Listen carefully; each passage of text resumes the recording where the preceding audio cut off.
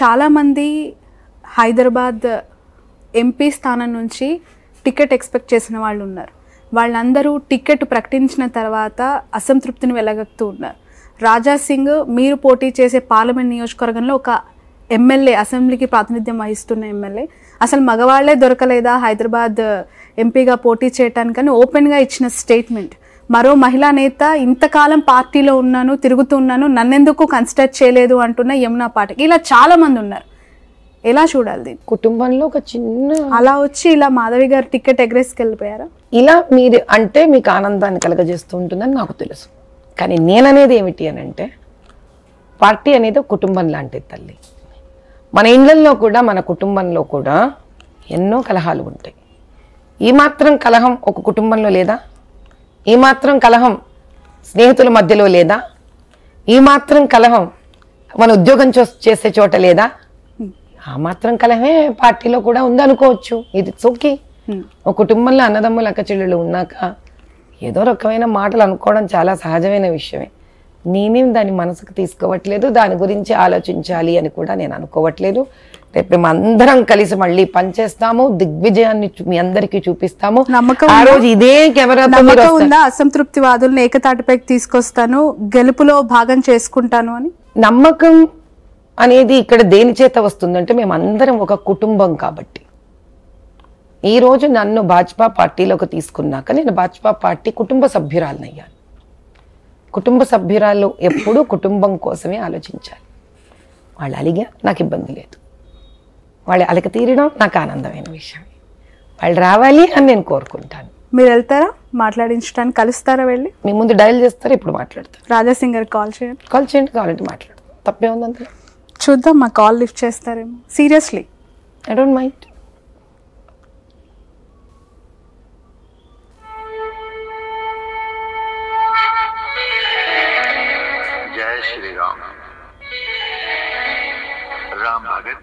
अभी आपसे बात करेंगे बहुत दयालु हैं अपने भक्त The person you're calling.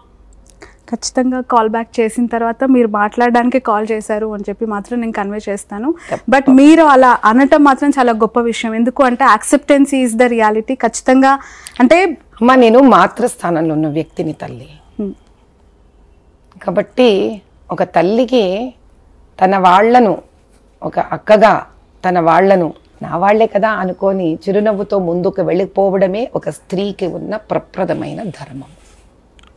నేనది నిర్వర్తిస్తున్నాను ఇప్పుడున్న సమయం మనం ఇటువంటి వాటి వాటి కన్నా కూడా కాన్స్టిట్యువెన్సీలో ఏం పని చేయాలి ఎలా పని చేయాలి అనే దాని మీద ఆలోచించడం ముఖ్యమైన విషయం ఏమోనని నా ఉద్దేశం. రైట్ బీజేపీ అంటే సిద్ధాంతపరంగా చాలా స్ట్రిక్ట్గా ఉంటుంది. సంఘ్ ఆర్ఎస్ఎస్ లేదంటే బీజేపీ కండువాకి ఉన్న గొప్పతనం వివరిస్తూ అనేక కార్యక్రమాలు యాక్టివిటీస్ అనేవి ఒక లైక్ ఇట్స్ హోంవర్క్ కదా. చాలామంది టికెట్ ఎక్స్పెక్ట్ చేసినా ముందులో పని ముందు ఇక్కడ పార్టీలో పనిచేయాలి ఆర్ఎస్ఎస్లో సభ్యులుగా ఉండాలి సో అండ్ సో చాలా ఉంటాయి. దానికి ఒక ప్రతి స్టెప్ వన్ టూ త్రీ అనే ఉంటుంటాయి. బట్ మాధవి లతకి ఎంతో మంది ఎదురు చూస్తూ ఉన్నా కూడా టికెట్ కన్ఫర్మేషన్ అయిన తర్వాత ఆమె బీజేపీ పార్టీలో అఫీషియల్గా జాయిన్ అయ్యారు అనే ఆరోపణ వచ్చింది. నిన్న అనౌన్స్మెంట్ అయిన తర్వాత. అది నిజమా? మీరు టికెట్ అనౌన్స్మెంట్ అయ్యాక ఢిల్లీ వెళ్ళి తరుణ్ చుగ్ ఆధ్వర్యంలో జాయిన్ నేను సంఘ మనిషిని తల్లి. ఓకే. నేను విశ్వ హిందూ పరిషత్లో రామాలయం నిర్మాణం సమయంలో I was one of the స్టేట్లో తయారైన బోర్డులో ఒక మెంబర్ని నేను. సంస్కృతి అనే ఒక దాంట్లో వైస్ ప్రెసిడెంట్ నేను. ఇంద్రేష్ భాయ్ సాబ్ ఆల్ ఇండియా ఫ్యాన్స్ దాంట్లో నేను వైస్ ప్రెసిడెంట్ని నేను ఒక సంఘ ఆడపిల్లనమ్మా. కానీ డప్పు కొట్టుకోవాల్సిన అవసరం నాకు కనిపించలేదు తల్లి. ఓకే. ఎందుకు? ఏదైనా ప్రచారం చేసుకోవడం అవసరం ఏముంది నా మనస్తత్వం అది కాదు. ఓకే. నేను ఎప్పుడూ నేను సంఘ మనిషిని సంఘ మనిషి సంఘ మనిషి అని చెప్పుకోవడంలో సంఘ మనిషి అవ్వమమ్మ. సంఘ ఒక ఉద్దేశాలను శరీరంలో జీర్ణించుకొని వాటిల్ని ప్రజల కోసం సేవ చేసే వాళ్ళు సంఘం. మీరు ఎప్పుడైనా నిజంగా సంఘ కార్యకర్తలు వాళ్ళు వాళ్ళని చూడండి వెళ్ళి. వాళ్ళు చాలా ఔన్నత్యంతో కూడి ఎంత సింపుల్గా ఉంటారు. That is what I learned from Sangh. Okay. నిన్న తరుణ్ చుక్కు గారు కూడా నన్ను అదే అన్నారు. తల్లి నువ్వు సంఘ మనిషివమ్మా నీవు. నీ డిఎన్ఆర్ఎన్ఏలోనే కాషాయ రంగం ఉంది. అలా నువ్వు ఎప్పుడో కాషాయం వేసేసావుగా? అందుకే బీజేపీ అధినాయకత్వం మిమ్మల్ని హైదరాబాద్ ఎంపీగా దింపుతోందా? అది ఏదో మీరు వాళ్ళని అడిగి తెలుసుకోవాలి తల్లి. వాళ్ళ మనసులో ఉద్దేశం నా ఉద్దేశం ఏమిటి అని అంటే ధర్మబద్ధంగా పనిచేస్తున్ని ధైర్యంగా ఉన్న ఒక స్త్రీకి బహుశా వాళ్ళు ఆల్రెడీ ఒక రిజర్వేషన్ మొదలు పెట్టాలని ఒక ఆలోచనలో కూడా ఉన్నారు కాబట్టి ఈ విధంగా వాళ్ళు ఒక అవకాశం ఇద్దామని కూడా ఉండిండొచ్చు కదా వాళ్ళకి. వాళ్ళ ఉద్దేశాలు ఏమున్నాయో అధిష్టానంలో కూర్చున్న వాళ్ళది. ఉండొచ్చు.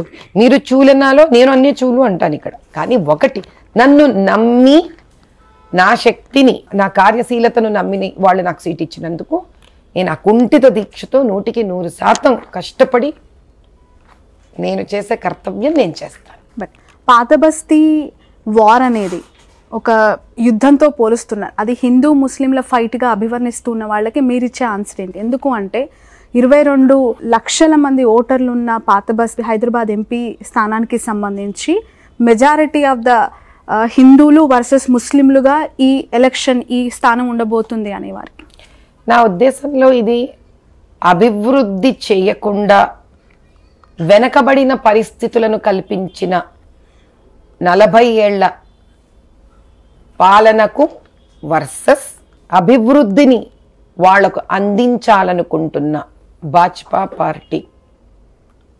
ఫేస్గా అలాంటి యుద్ధం అని చెప్తాను. నెక్స్ట్ ఎక్కడైతే ప్రజలకు నలభై ఏళ్ళగా ఎటువంటి న్యాయమో ధర్మమో జరగలేదో అటువంటి దానికి వర్సెస్ న్యాయము ధర్మము ఇవ్వాలనుకుంటున్న ఒక భాజపా పార్టీలో ఉన్న అవకాశం సీటు రూపంలో ఇచ్చిన వారితో అంటాను. ఇది మత కలహం కాదు కాకూడదు. కానీ కమ్యూనిటీ వైజ్గా చూస్తే ముస్లింలు ముస్లింలకే ఎక్కువగా సపోర్ట్ చేస్తారు అనే రియాలిటీ యాక్సెప్ట్ చేయాల్సి ఉంటుందేమో ఎందుకు అంటే పోటీ చేసిన ప్రతిసారి అసద్ గెలుస్తూ వస్తూ ఉన్నారు. ఆ స్థానంలోంచి మీరు దిగుతూ ఉన్నారు ఇప్పుడు. ఆ సపోర్ట్ ఎట్లా ఉంటుంది ఎందుకు అని అంటే ఇంతకాలంగా వాళ్ళు రకరకాల విధి విధానాలను అవలంబించి పోటీలో నిలబడుతూ గెలుస్తూ ఉన్నారు. ఆ విధి విధానాలకు ఈసారి మనం కూడా కళ్ళం వేస్తాము. పక్కా. రైట్. బీఆర్ఎస్ అభ్యర్థిని ఒకవేళ నిలబెట్టినా నిలబెట్టకపోయినా వాళ్ళ సపోర్ట్ అనేది అక్కడ ఏఐఎంఎంకి ఉంటుంది అనేది ఒక వార్త తెలుస్తోంది. ఇంకా కొంచెం టఫ్ అయ్యే అవకాశం ఉందనుకుంటున్నారు అక్కడ? బీఆర్ఎస్ ఒకవేళ అసద్కి సపోర్ట్ చేస్తే. నాయన వాళ్ళు రాష్ట్రమే గెలవలేకపోయారు కదా తల్లి. చూద్దాం.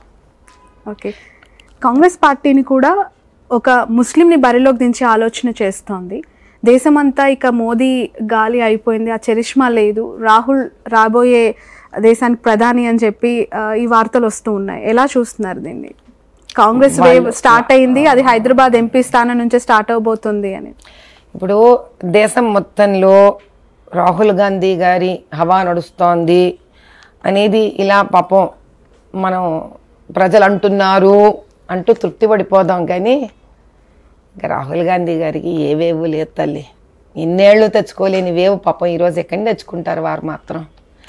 అది అది అది అయ్యే వ్యవహారం కాదు కానీ మోదీ గారు ఆయన వేవో లేకపోతే పెద్ద human టైడో he is is part is on is part everything ఆయన ఇవన్నీ ఎక్కడో దాటేసి అధిష్టానంలో అలా ఉన్నారు. అందరి మనసుల్లోనూ ఆయన అలా ఒక స్థానంలో ఉన్నారు కాబట్టి ఆయనను చేరుకోవడం కూడా ఆలోచనకు దూరమైన విషయం.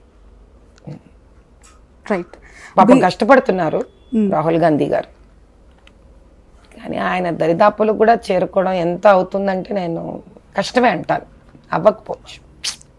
రైట్ నిన్న ప్రకటించిన ఎంపీ స్థానాల యొక్క లిస్ట్ను ఒకసారి చూస్తే బీజేపీ ఆల్మోస్ట్ అంటే హాస్పిటల్స్ రన్ చేస్తున్న వాళ్ళకి ఎక్కువగా టికెట్స్ ఇచ్చింది అనే వార్త. Virinchi hospitals Madhavi Latha Apollo hospitals Konda Vishweshwar Reddy star hospitals Boora Narsaiah Goud ఎలా చూడాలి? ఆల్రెడీ మాధవీలతపై భారీగా డబ్బులు వసూలు చేసింది హాస్పిటల్ పేరుతో అనే ఒక అపవాదు. ఈ అపవాదు ఇప్పటికీ మనం చాలాసార్లు వినున్నాం తల్లి. ఈ అపవాదు ఇది అబద్ధము తప్పు అని కోర్టు కూడా నిర్ధారించి చెప్పేసింది. ఇంకా మనం ఇలాంటివే మాట్లాడుతూ ఉందాము అనుకుంటే కనుక కాన్స్టిట్యువెన్సీ గురించి మాట్లాడుకునే అవకాశం మీ దగ్గర ఉండదు నా దగ్గర ఉండదు. రెండో విషయం ఏంటి అని అంటే బహుశా హాస్పిటల్ అనే ఒక రంగంలో అనుభవం ఉన్నవాళ్ళు చదువుకున్న వాళ్ళు పైకొచ్చిన వాళ్ళు కష్టనష్టం చూసిన వాళ్ళు ఆధునికత కోరుకున్న వాళ్ళు. ఇలాంటి వాళ్ళతో కనుక అవకాశం ఇవ్వడం జరిగితే ఆయా కాన్స్టిట్యువెన్సీస్ ఇంకా ముందుకు వెళతాయి అని ఒక నమ్మకం కూడా వాళ్ళకు ఉండి ఉండొచ్చేమో. పైగా ఇప్పుడు మనం విశ్వేశ్వరరెడ్డి గారు వాళ్ళ గురించి చూస్తే వాళ్ళు నాకన్నా చాలా సీనియర్స్. వాళ్ళ హాస్పిటల్ రంగానికి సంబంధం లేకుండా కూడా రాజకీయాల్లో ఉన్నవాళ్ళు వీళ్ళందరూ. వాళ్ళు వాళ్ళ కార్యక్రమాలు వాళ్ళు చాలా చేసి ఉన్నారు. రైట్ సో వాళ్ళు హాస్పిటల్తో అటాచ్ అవ్వడం అనేది ఒక లైఫ్లో ఇట్ హాస్ జాయింట్ దాంతో ఇది యాడ్ అయింది కానీ కేవలం హాస్పిటల్ వాళ్ళకే వాళ్ళు ఇవ్వలేదు. ఇప్పుడు అలా చూస్తే హాస్పిటల్ మా వారిది. అంటే వారి ఆధ్వర్యంలో జరుగుతున్నది. అంతేగాని నేను హాస్పిటల్ పెట్టి నేను హాస్పిటల్ ఎస్టాబ్లిష్ నేను చేయలేదు. అసోసియేట్ ఉండడం అనేది ఒక నా ఉద్దేశంలో అనుకోకుండా జరిగిన ఒక ఇన్సిడెంట్ అనుకుంటున్నాను తప్ప అలా ఏం ప్రత్యేకించి జరిగిన విషయం కాదేమో. మహిళలకి మాధవిలత గెలిస్తే ఏం చేస్తారు? ఏం చేయాలనే ఆలోచనతో ప్రణాళిక వేసుకున్నారు. పాత బస్తీ మహిళల తలరాతల్ని మార్చే ప్రణాళిక ఏముంది మీ దగ్గర? ఫస్ట్ ఆఫ్ ఆల్ అమ్మ చిన్న వయసులో ఉన్న ఆడపిల్లలకి ధైర్యము వాళ్ళకు భవిష్యత్తులో ఇంకా చదువుకునే అవకాశము వాళ్ళు నిర్భయంగా వాళ్ళ జీవితంలో వాళ్ళు సాధించాలనుకున్న స్థాయికి వాళ్ళకు చేర్చే ఒక ఉపాధి కల్పించడం. రెండవది చదువుకోని మహిళలు ఎవరైతే కుటుంబాలను పోషించడానికి ఇబ్బంది పడుతున్నారో ఎవరికైతే ఆ ఇంట్లో పురుషుడు అనే ఒక ధైర్యము వాళ్ళకు లేదు అటువంటి వాళ్ళకి కొన్ని విద్యలను నేర్పించి స్కిల్ డెవలప్మెంట్లో వాళ్ళకి ఉపాధులు కల్పించడం ప్రైమ్ మినిస్టర్ మోదీ గారి ఆధ్వర్యంలో ఉన్న స్వావలంబన్ భారత్లో కానీ ముద్రా లోన్స్ కానీ రకరకాలుగా ఉన్నాయి. విశ్వకర్మ లోన్స్ రకరకాలుగా ఉన్నాయి. ఇది అది అని చెప్పాలంటే అదో పెద్ద లిస్ట్ ఉంటుంది ఇప్పుడు. అందులో వాళ్ళకి ఒక స్ఫూర్తి ధైర్యము అవకాశము ఇప్పించి వాళ్ళ కాళ్ళ మీద వాళ్ళు నిలబడేటట్టు చేయడం. ఎందుకంటే ఒక స్త్రీ నిలబడింది అనుకోండి ఆవిడతో పాటు కొన్ని వందల మందిని నిలబెట్టే ఒక మాతృత్వం ఆవిడలో ఉంటుంది. అది కాకుండా ముసలి వాళ్ళు పైబడ్డ స్త్రీలు భర్త లేని వాళ్ళు ఇలాంటి వాళ్ళకు ఎవరైతే వాళ్ళ పిల్లలు వాళ్ళని చూసుకోవట్లేదు వాళ్ళకి ఏ విధంగా వాళ్ళకు పెన్షన్ రూపంగా సహాయపడాలా లేకపోతే వాళ్ళకి ఇంకా జీవనోపాధి ఏదన్నా కల్పించాలా అనేది కూడా ఒకటి ఆలోచించడం ఖచ్చితంగా జరుగుతుంది. ఇది కాక చిన్న పసిబిడ్డలుగా ఉన్న ఆడపిల్లలు వాళ్ళపైన ముందు ముందుకి ఎటువంటి అత్యాచారాలు జరగకుండా ఉండడానికి ఏం చేస్తే బాగుంటుంది? ఎటువంటివి కట్టుదిట్టం చెయ్యాలి ఆ చుట్టుపక్కల ప్రాంతాలలో? పేరెంట్స్ని ఎలా ఎడ్యుకేట్ చెయ్యాలి. ఇలా ఏదున్న అర్ధరాత్రి అయినా అపరాత్రి అయినా నన్ను చేరాలన్న వాళ్ళకి నేను ఉన్నాను అని ఆశ్వాసనం ఇవ్వగలగడం చాలా ప్రప్రథమమైనది. వీటితో పాటు మీరు అడగని ప్రశ్న మీకు నేను ఇచ్చే సమాధానం ఇంకొకటి కరసేవకులు ఎంతోమంది పాపం వెళ్ళి వాళ్ళ ఎంతోమంది త్యాగం చేసిన వాళ్ళు ఉన్నారు పాత బస్తీలో. అన్ని చోట్ల అందరికీ ఏదో పెన్షన్ రూపంలో వాళ్ళకు వచ్చింది పాపం వీళ్ళకే అందలేదు.